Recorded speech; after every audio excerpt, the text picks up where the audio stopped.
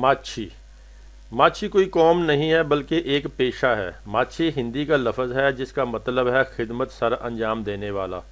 پاکستان بننے سے پہلے جب ہندوؤں کی کوئی شادی یا وفات ہوتی تو یہ لوگ ان کے مہمانوں کو کھانے پلانے کی خدمت کے فرائض انجام دیتے تھے اور ہندو ان کو کچھ نقدی اور کھانے کی اشیاء بطور اجرت دیتے تھے۔ اب بھی پاکستان میں ان میں سے کچھ لوگ یہ کام کرتے ہیں۔ چاہل ذات، چاہل کاسٹ چاہل ایک جٹ قبیلہ ہے۔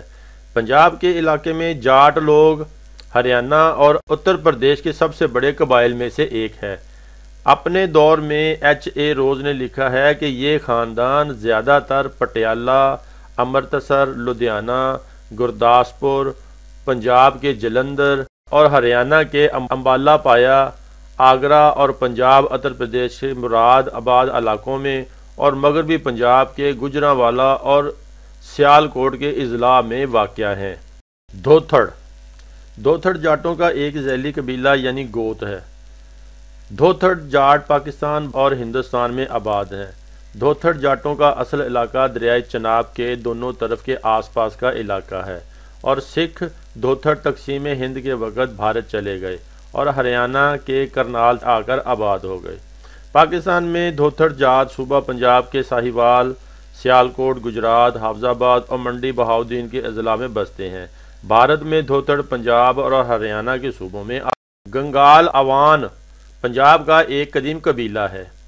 گنگال اوان، قبیلہ گود گنگال کا مطلب ہے کہ کنگ آل یعنی کہ گوہر علی عرف کنگ کی اولاد، جو بابا کتب شاہ کے بیٹے مزمل علی گلکان کے بیٹے غلام علی عرف ادی کے بیٹے تھے۔ تلا کنگ شہر آپ کے نام سے منصوب ہے۔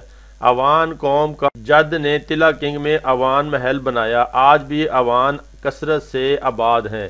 تلا کنگ میں کنگ اوان آج بھی آباد ہیں۔ گوہر علی عرف کنگ کے دو بھائی اور بھی تھے، جن کا نام آدم علی عرف ادم اور محمود علی عرف منڈل ہے۔ ان سب کی اولاد آج بھی تلا کنگ، چکوال اور راول پنڈی میں موجود ہے اور اپنے شاندار ماضی کے امین گکھڑ گکھڑ ایک قدیم قبیلہ ہے۔ گکھڑ قبیلہ کا ظہور گیان ایران سے ہوا۔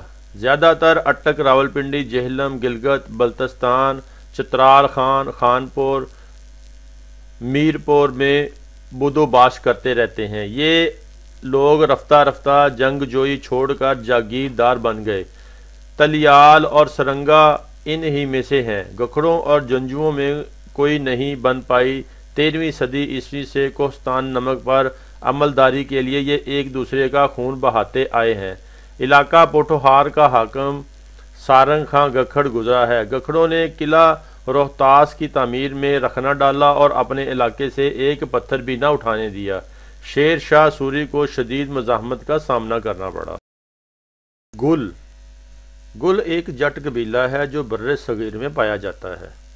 گل جٹوں کا ایک بہادر قبیلہ ہے جو آن کی خاطر اپنی جان کی بھی پرواہ نہیں کرتے۔ یہ بر صغیر میں قیام پذیر ہیں۔